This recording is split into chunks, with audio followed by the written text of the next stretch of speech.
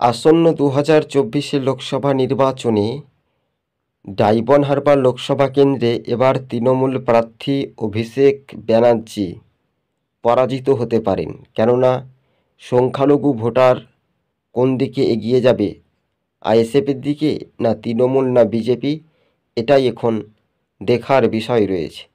তবে স্বাভাবিকভাবে আজকে আমরা যে ইঙ্গিতপূর্ণ, যে গুরুত্বপূর্ণ বিষয়টা অর্থাৎ ডাইবন হারবার। দুই চব্বিশ পরগনা জেলার সংখ্যালঘু ভোটার একটা মেন ফ্যাক্টর হতে পারে আইএসএফ। কেননা আইএসএফ কতটা উজ্জীবিত হতে পারে, আইএসএফ কিন্তু একাই প্রতিদ্বন্দ্বিতা করতে পারবে না, এটাও কিন্তু বাস্তবে সঠিক।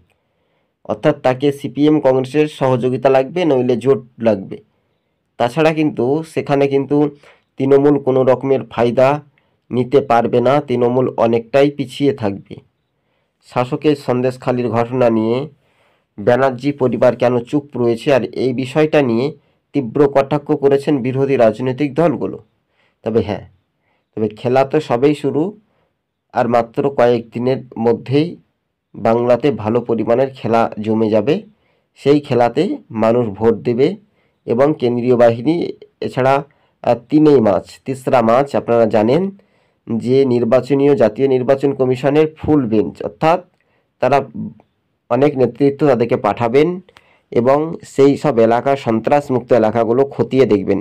তাহলে বুঝতেই পাচ্ছেন যে কত ধরনের কত চাল তৃণমূল এবার পরাজিত হতে চলেছে ডাইবন হারবার।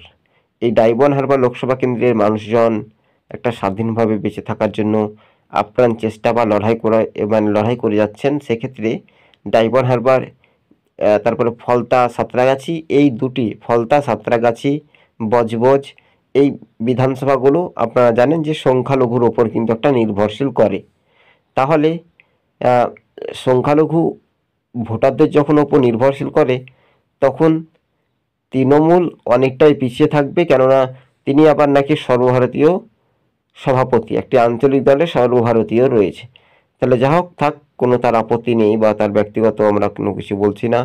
কিন্তু এবার ডাইবন হারবার লোকসভা কেন্দ্রে যে জনমত সমীক্ষা, যে ইঙ্গিতপূর্ণ বামজোট প্রার্থী হিসেবে দৌড়ে এগিয়ে রয়েছে, এই মুহূর্তে সবচাইতে বড় খবর বামজোট কিন্তু একটা এগিয়ে থাকার একটা সম্ভাব্যত বেশি।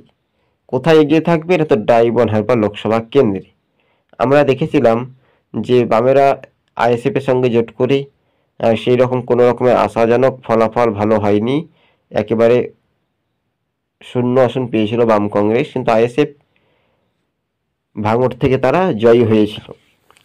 এবার মুর্শিদাবাদের সাগর দিঘি যে উপনির্বাচন হয়েছিল, সেটা সংখ্যালঘু ভোটারদের ওপর। সেটা কিন্তু বিজেপির বিধায়ক, তিনি বর্তমানে বিরোধী দল নেতা, তিনি সরাসরি কিন্তু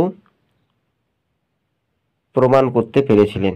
হ্যাঁ এবার যখন তৃণমূল প্রার্থী অনেকটা যখন পিছিয়ে থাকবে, সেই পিছিয়ে থাকার সঙ্গে সঙ্গে একটা রাজনৈতিক মহলে নতুন সমীকরণ দেখা যেতে পারে।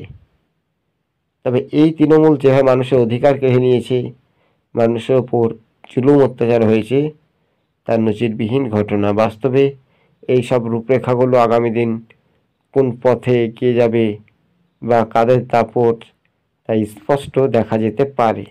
হ্যাঁ এবার আপনাদের কাছে তিনটি ধাপে আমরা প্রশ্ন করি। কী কী ধাপে? আপনারা মনোযোগ দিয়ে শুনবেন। প্রথম ধাপ হচ্ছে, তৃণমূল কেন হারবে? তৃণমূলকে কেন মানুষ ভোট দেবে? অর্থাৎ রাজ্যে তো বেকার যুবদের কাজ নেই, কর্মসংস্থান নেই। এদিকে সিপিএম নেত্রী অর্থাৎ মীনাক্ষী মুখার্জি আর অন্যদিকে কিন্তু তৃণমূল। নেত্রী, দুই নেত্রীর এখন দাড়িপাল্লা ভার কতটা উজ্জীবিত হবে? লোকসভা নির্বাচন, জাতীয় নির্বাচন কমিশনের যে সূত্রের খবর, কড়া নিরাপত্তার মধ্য দিয়ে যেটা খবর পাচ্ছি, শেখ শাহজাহানকে অবিলম্বে দ্রুত গ্রেপ্তারের আজই জানিয়েছেন। কিন্তু হ্যাঁ তলায় তলায় গ্রেপ্তার হয়ে বলছেন এবং তার রাজ্যে, ভিন রাজ্যে তিনি লুকিয়ে বেড়াচ্ছেন। শেখ শাহজাহান কিন্তু তৃণমূল নেত্রীরা এই ঘটনাগুলো জানেন না।